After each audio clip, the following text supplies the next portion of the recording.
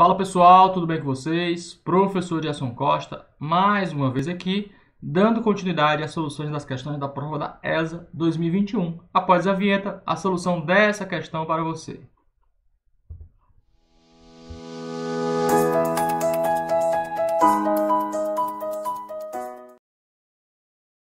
Prontinho, espero que tenha gostado da vinheta. Vamos nós. Olha só, Observe o paralelepípedo reto ou retângulo da figura.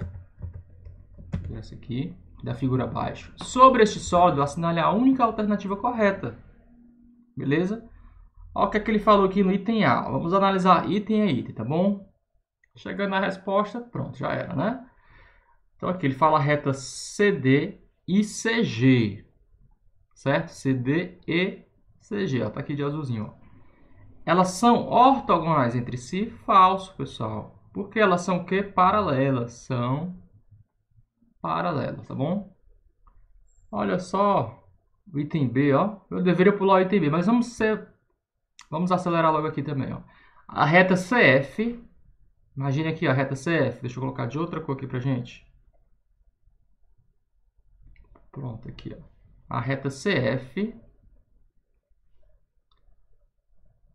CF, ó, CF, tá aqui, a reta CF, é paralela ao plano ADH, olha o plano ADH aqui, pessoal. Pessoal, são paralelos? Sim, perfeito, tá aqui o item verdadeiro, ó, verdadeiro. Beleza? Rapidinho, já marca aqui o item B, vamos ver o que, é que os outros estão falsos. A reta AC, a reta AC e HF são paralelos entre si, pessoal? Ó, se você tiver a reta AC, bem aqui, e HF, eles são paralelos entre si, eles são o que? Não complunares, eles são retas reversas, beleza? Então, falso aqui, reversas. D, a reta AB é perpendicular ao plano EFGH, hein? Falso também, pessoal, certo? E o item é a reta BF, BF, se você tiver aqui, ó, BF e DH, BF e DH são perpendiculares entre si, falso também, certo?